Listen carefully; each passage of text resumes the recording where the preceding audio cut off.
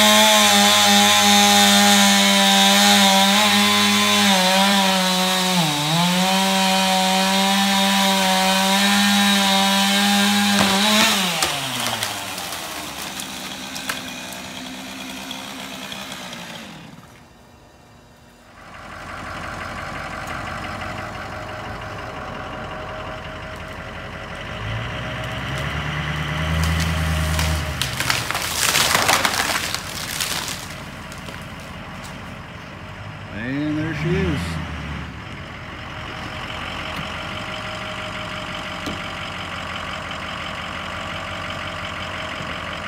Wild start. In Illinois, 36 degrees and snow.